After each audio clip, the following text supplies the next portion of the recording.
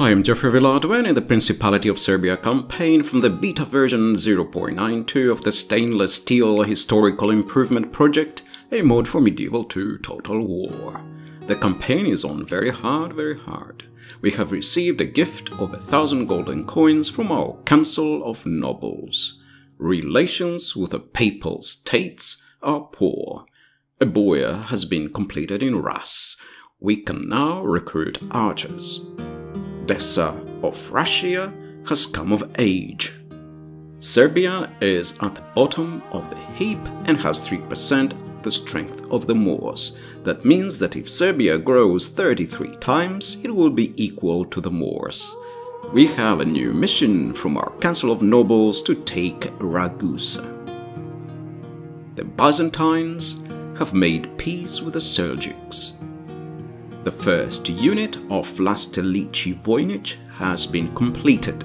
They have skins from Rushici Total War. We are now 4% the strength of the Moors. Perhaps we need to keep recruiting these Vlastelici Voynich units. A Byzantine spy has been caught and he has been publicly executed. That does not bode well. We have uh, no possibility to recruit diplomats at the moment, so we are at the mercy of the AI when it comes to diplomacy. The Abbasids have made peace with the Seljuks. My Arabian is not great, but the Caliphate should probably be Al Khalifa, not Al Khilafa. We have recruited our first archer unit. We remain the world's most powerless faction. Our spy goes to have a look at Ragusa.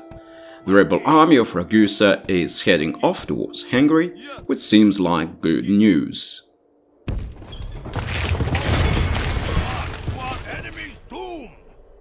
Once we breach the walls, they are finished. We await your order to move in. Our Veliki Zupan marches off to Ragusa at the head of a large army and lays siege to it. The rebels that had walked out of Ragusa, seeing this mighty army, realizes they have made a terrible mistake and disappear beyond our horizons.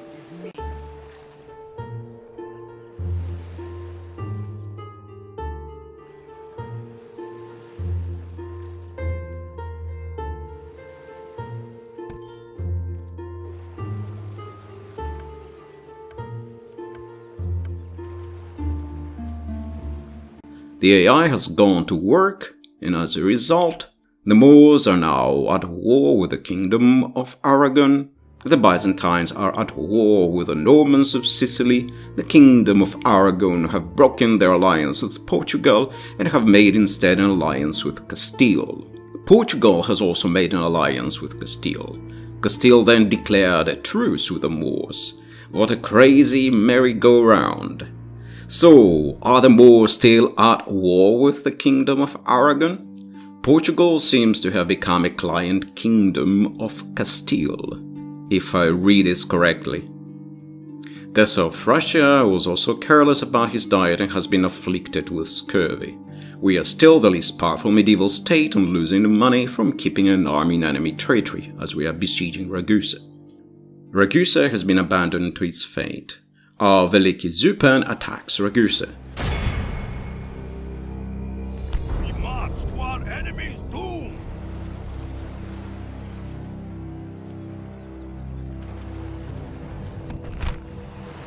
The siege is auto-resolved and Ragusa falls and is peacefully occupied.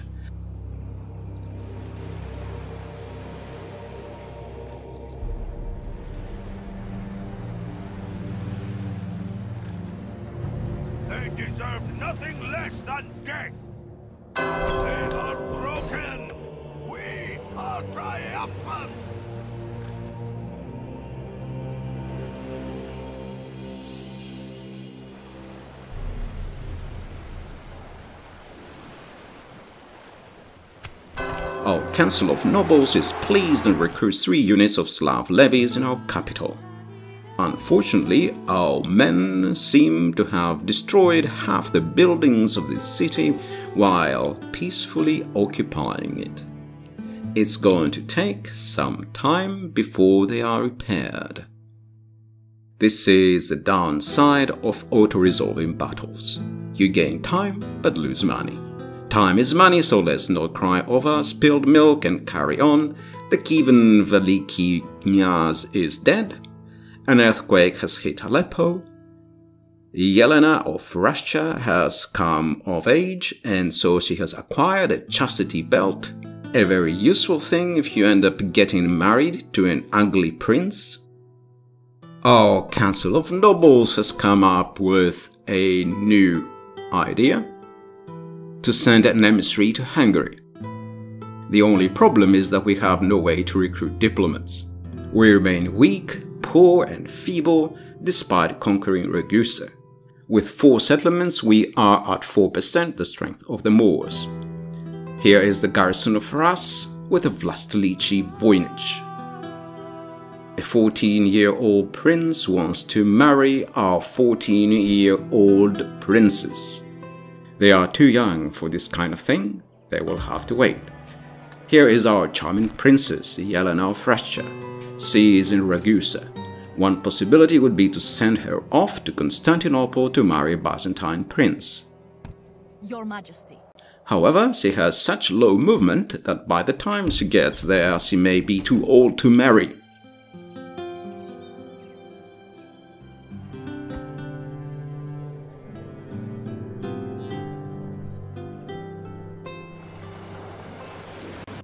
Our spy is searching without success for that rebel army that seems to have vanished. If it is a fight you wish, come closer. It's not them, that's another army, Moving quietly, that's another rebel army. Maybe they are hiding in the trees. moving into position. They are not there, Quietly. also not here.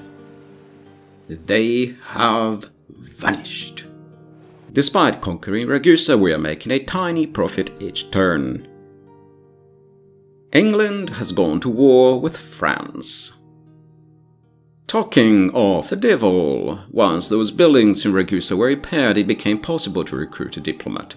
He will be busy for a while.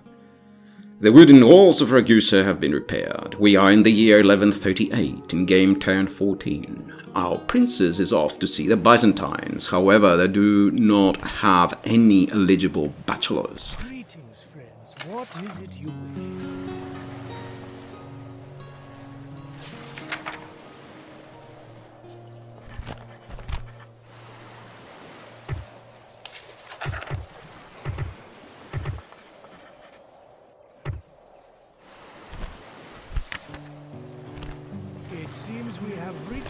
Suggestion from your leader for us. Let's see, another proposition? We shall listen. So instead, she offers an attack on independent sovereignties and some money, which seem to have made them happy. Many thanks.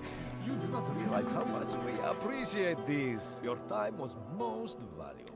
In the meantime, a Hungarian embassy has arrived, and they offer us trade rights, which kill two birds with one stone. Our Council of Nobles has been pleased by the diplomatic contacts with Hungary. The Pisans have gone to war with Venice. As a result, they have broken their alliance with the Papal States. The Fatimids and the Abbasids are now allies. We have moved up from position 29 to position 26. The Fatimids have sent an embassy to ask for trade rights. Dessa seems to have become a magnet for foreign diplomats. Trade rights are granted gladly. The Fatimid Caliph is dead. The Council of Nobles has made a gift of a thousand gold. It would appear a crusade has been declared, so now the kingdom of Castile has gone back to war with the Moors. Their truce was very short lived. They have also gone to war with the Zengids, a Muslim emirate centered on Damascus, so it looks like Damascus is on the line. The Holy Roman Empire and France have also gone to war with the Zengids. The Moors have broken their alliance with Portugal while Sicily has allied with Venice. The town guard of Ragusa has been repaired. The Holy Bible may preach peace, but when it is Christendom itself that is threatened, then it is every Christian's duty to defend all that is holy. His Holiness the Pope has called a crusade to reclaim the Holy Lands from the infidel, who would deny Christian pilgrims their right to visit the holy places. It is time for the armies of Christendom to put aside their differences and unite under one banner, the sign of the cross, and give back God's children what is rightfully theirs, or die trying. So indeed, Damascus is on the line. The town guard of Ragusa has been repaired, the Serbian state is struggling to make ends meet, and indeed a crusade has been called, Damascus is on the line. Our diplomat was on his way to Venice when he bumped onto a Byzantine general. What was he doing here, so far from home? The Second Lateran Council has convened a meeting of the Catholic Church. Hungary has gone to war with the Romans and the Zengids. Sicily has gone to war with the Zengids. The crusade is growing. We are asked to finance the Second Lateran Council, which would benefit our priests, but A, we are not Catholic, and B, we have no priests, so we don't waste the money. Let's hope the Crusaders don't attack Ragusa in their anger. We have a new mission to send an emissary to Venice. He's on his way already, my lords. We are back down to position 27. The Second Lateran Council has convened without our financial help. It is the year 1140 and we control four settlements. We need another 46 to win. Almost there. We have one ally, the Byzantines. A look at the chart shows we are far, far behind the great and mighty of the world in military strength, production, territorial, and population ranking. Several factions seem to have left a lot of their money in the bank, which tends to indicate a problem with the campaign AI. The Hungarians and the Byzantines seem to be eyeing each other with our spy caught in the middle. The Byzantines look like they have just lost a battle. The Hungarians seem in a better shape.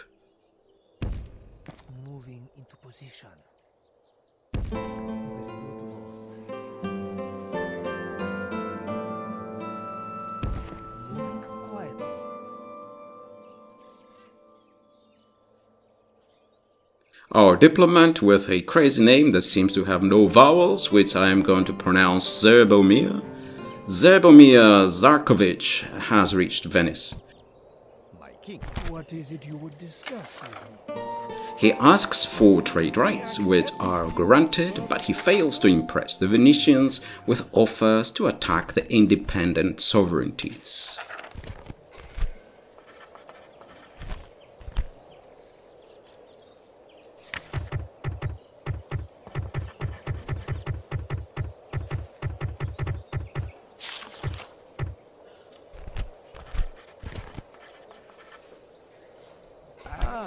Is something else you would suggest to us, yes?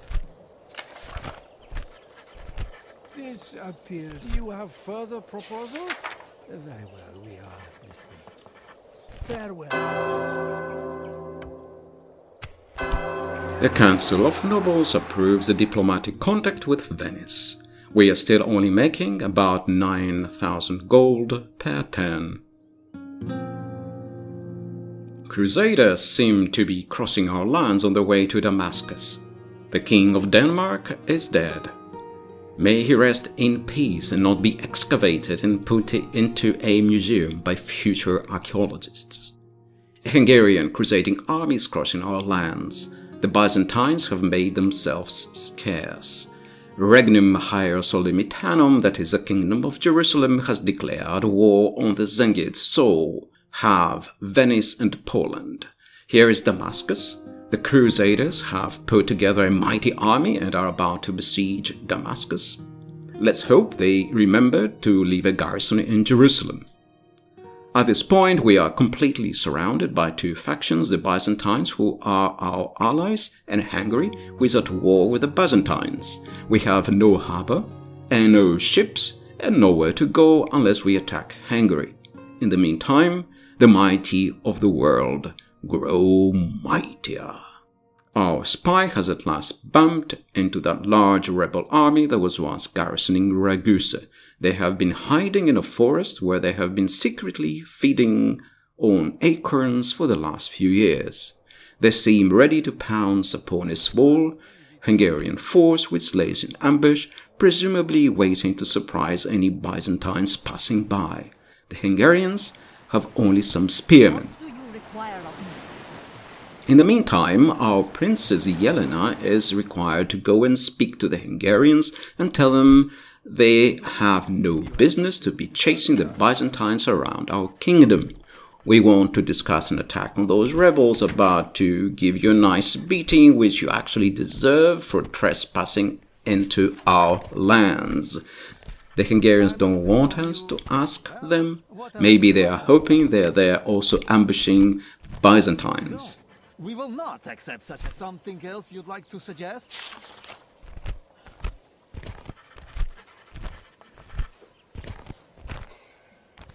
We have no complaints with this plan.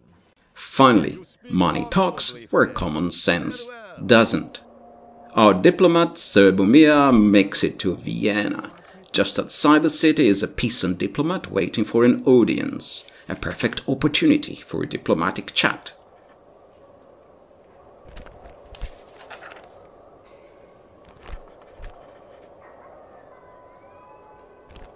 It seems we have reached an agreement. Good. Something just as useful, I hope. The Pisans agree surprisingly quickly to an alliance. Something is fishy about this. They object to attacks on rebels. This is unusual, although in this case it makes sense. Why should our rebels be their problem?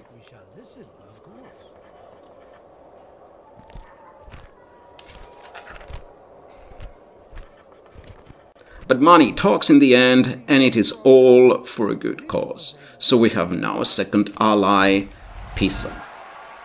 A large stack of Hungarian crusaders are now outside Ras. My king does not count you among the enemy. That's a nice thing. Let's hope it stays that way. We are Christians, after all. I will make them fear you. Yes. Our Grand Zupan attacks the rebels in the woods.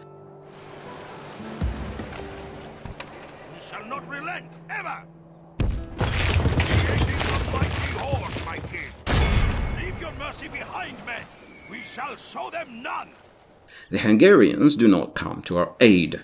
We don't need them. We can win this battle without their help. That's okay. The rebels have a nice army. This will be the biggest open battle of the campaign so far.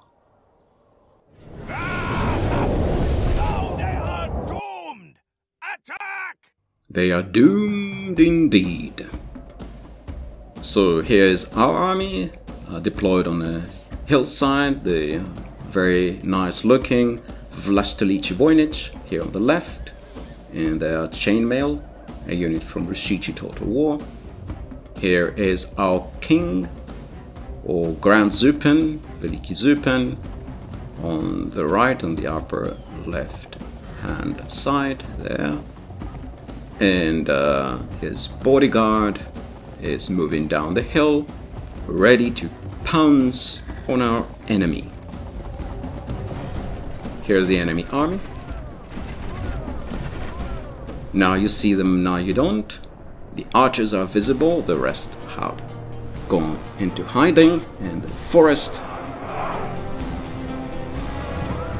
We have uh, two generals, one of them being uh, Grand Zupan and now they are charging downhill.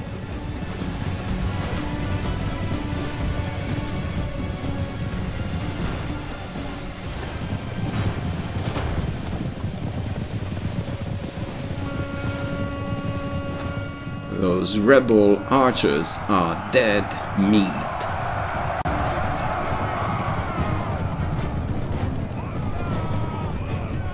Start running too late. They get charged.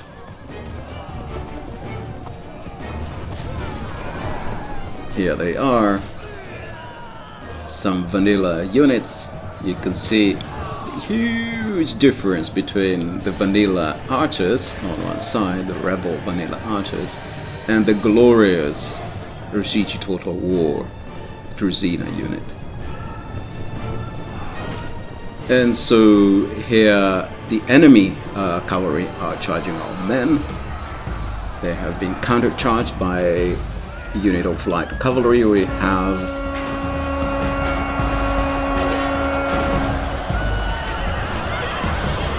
sorry, and here is the enemy uh, cavalry unit. They're heavy cavalry, very formidable. We have charged them with our generals. One of our generals has charged them on this side.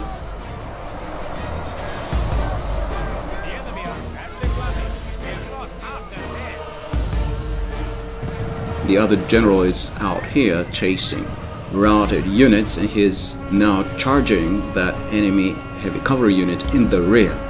And so the enemy cavalry has now been charged on both sides. Our enemy also has a general who is running around at this point, and uh, he standing in dismay, seeing his army suddenly fleeing and routing. They had been chasing, the enemy general had been chasing one of our cavalry units around. And then they started chasing some other unit, and by the time he got into the field of battle, his army had been routed. So here is the enemy general in this pink horse uh, caparisons. Enemy army runs. We must pursue and hunt them down. and he has been routed along with the rest of his army.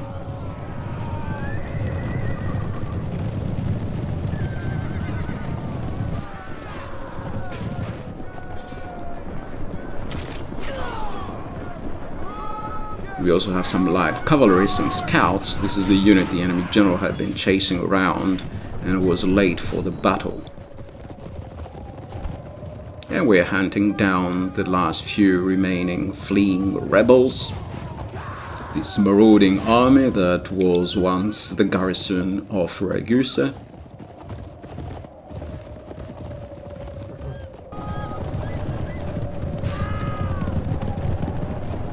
This is a clear victory that goes to only men of great virtue and valor.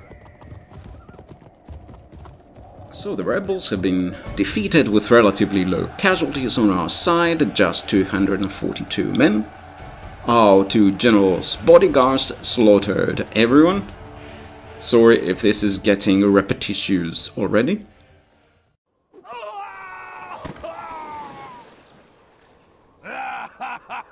Your enemies lie dead before me, my king. We shall not relent ever. Our Veliki Zupan is victorious, and uh, for his daring in battle, he's gained a new bodyguard, a shield bearer. And here are the Hungarians, happy to watch the destruction of the rebel army, hopefully as happy as you were. Thank you for watching.